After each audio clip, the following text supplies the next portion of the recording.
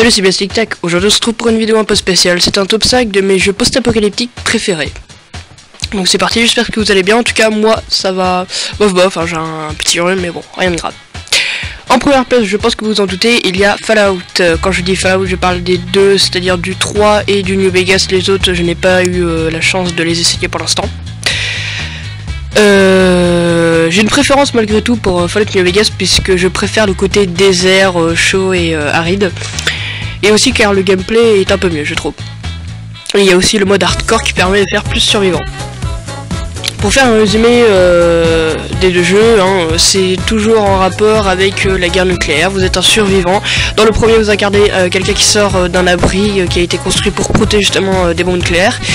Et dans le deuxième, vous incarnez quelqu'un de tout à fait normal qui s'est juste pris une balle dans la tête et qui a survécu. Et vous cherchez votre criminel. Et pendant le long de cette aventure, vous allez vous rallier à plusieurs factions qui vont vous aider à vous battre pour le barrage ouvert, qui est la quête principale au final. En deuxième place, euh, nous avons Dead Island. Euh, c'est un jeu que j'ai pas spécialement terminé, pas spécialement joué longtemps, mais euh, je trouve vraiment que c'est un super jeu de zombies. donc là, donc on est dans un apocalypse zombie. Un bon gameplay, les armes c'est assez sympa, on peut les casser, il faut les réparer. On peut conduire des voitures, on peut jouer avec plusieurs personnes sur la map en directement. Les zombies c'est fun pour les tuer et tout. Voilà, donc il est à la deuxième place puisque ça reste un jeu où le côté survivant est pas aussi exploité que Fallout. En troisième place, on a Rage qui est un jeu que j'apprécie aussi et que j'ai beaucoup moins joué euh, que les deux autres que les deux premiers euh, puisque il m'a en fait euh, déçu en fait. Je l'attendais assez enfin je l'attendais à cette époque là et en fait je trouve qu'il est assez répétitif en fait. Euh, ouais, il est, en fait c'est qu'il est très répétitif, je trouve. On se sent assez vite seul, on est un peu livré à nous-mêmes, voilà. Mais ça reste un bon jeu post-apocalyptique.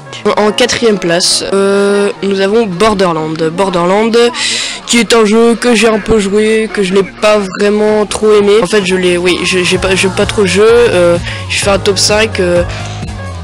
Il arrive à la quatrième place, mais franchement, il aurait très bien pu se trouver à la cinquième place. Euh, l'esprit survivant n'est pas du tout mis en avant. Euh, en fait, c'est juste l'univers qui est post-apocalyptique. C'est un, ça reste un, gros FPS. En cinquième, on a Let for Dead, un bon jeu de zombies.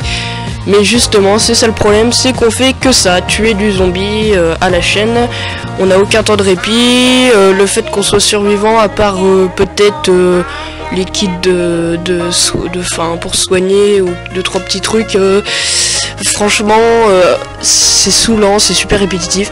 Euh, il est pas super super bien optimisé, je trouve le jeu, et on fait que ça quoi. Euh, on tue des zombies à la chaîne, a juste à rester appuyé sur un bouton pendant une heure. Voilà. Donc le top 5 est terminé, j'espère que ça vous a plu. J'ai pas fait un top 10 parce que je n'ai pas joué assez de jeux post-apocalyptiques pour, pour vous faire un si gros classement et j'ai joué et je n'ai pas mis les jeux post-apocalyptiques en ligne car je ne considère pas que ce sont des jeux euh, qui peuvent se comparer par rapport à Fallout et autres jeux comme ça. Voilà. Euh, peut-être que je vais faire un top 10. Je sais que je vais faire d'autres tops. Il y a une prochaine vidéo qui va bientôt sortir avec euh, un de, un de, mes, amis, de mes amis youtubeurs.